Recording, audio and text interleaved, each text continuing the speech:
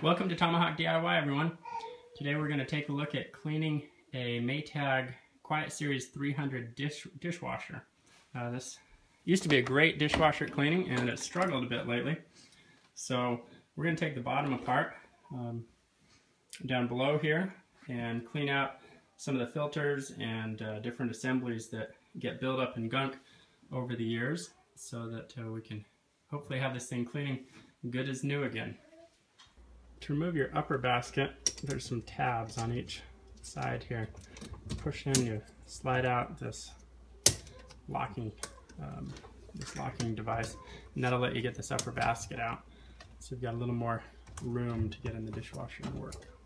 All right, to get this wand off, or to get this spinner off, you need to undo this little nut here. That can be a little bit tricky, but some pliers uh, should allow you to get it loosened so you can pull it off by hand.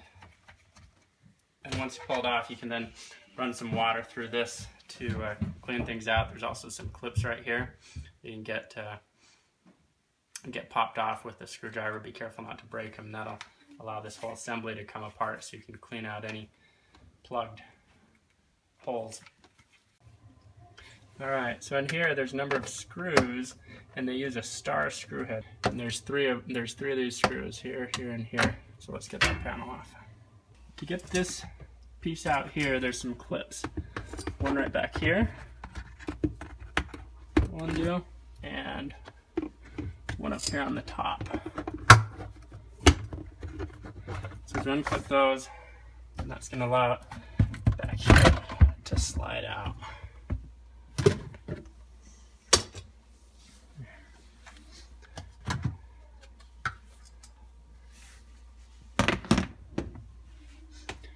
Now in our dishwasher, let's see what kind of gunk we've got all sorts of buildup in here. Alright, to get the inner assembly out here, again you need your star-headed screwdriver and there's six bolts around like this.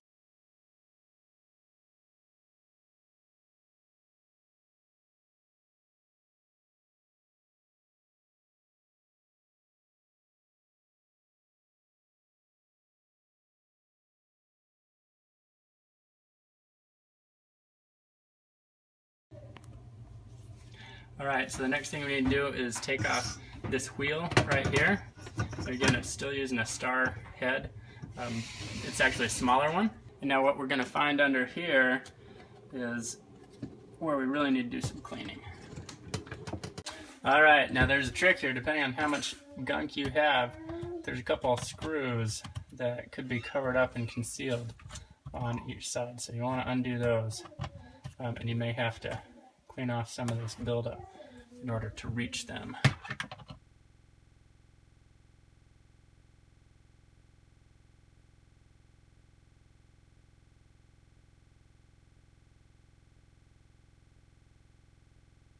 Now with this whole assembly off, now we can get in and backflush to clean out all the buildup that's occurred in here and obviously get in there and clean everything out. Now to get this cleaned out from all this gunk, um, you got a bunch of water in here to get rid of.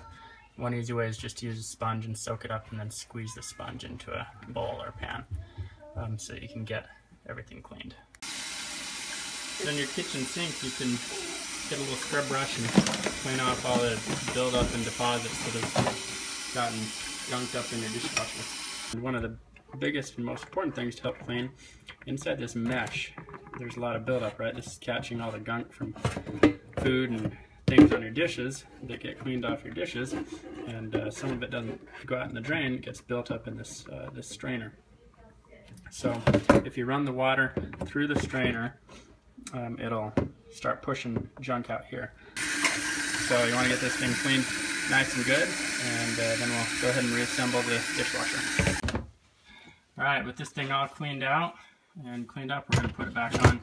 Now, the trick with alignment, remember there are eight different screws that go in here, and these two align with the countersunk ones on here. You're going to have this face into the back and that piece going over the red there in the back.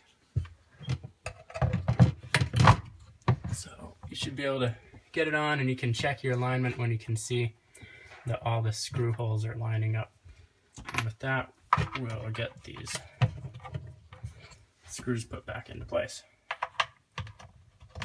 This wheel back on now. You have to get it lined up uh, just right.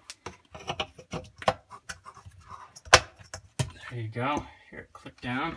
All right, remember you got to use two hands so you can tighten this down.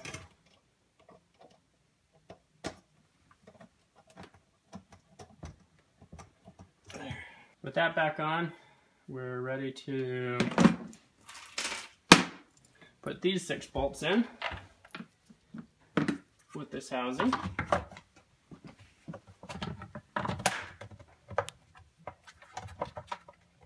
And we're just putting them in just enough so that we get them all positioned before tightening them down. Make sure they're all lined up and then we'll get them all tight.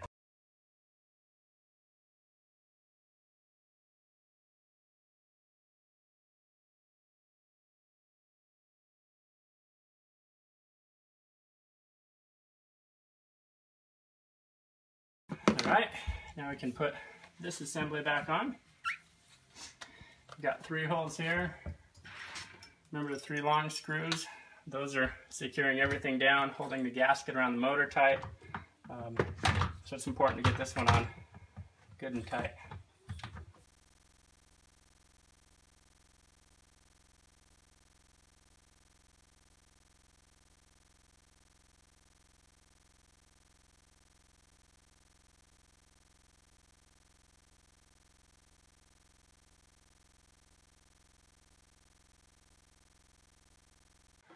Okay, then we can put our wand assembly back in.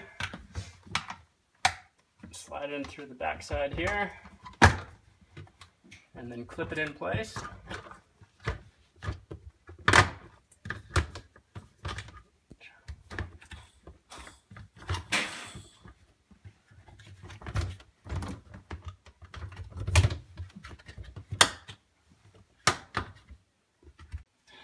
All right, we're gonna put the wand back on. Remember there's this little screw, we use some pliers to help, or this little bolt, plastic bolt, take it off.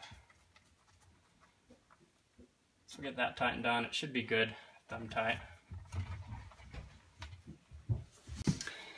All right, everyone, thanks for watching Tomahawk DIY. We're gonna get this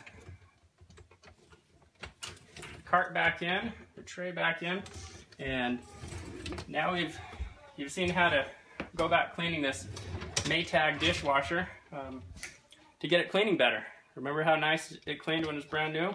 Well, who knew you had to clean out the clean out the dishwasher every once in a while because it does get built up and uh, clogged and things just aren't cleaning as good as it used to. So it's not too hard to get in and clean it up. Um, and now you've seen how to do it.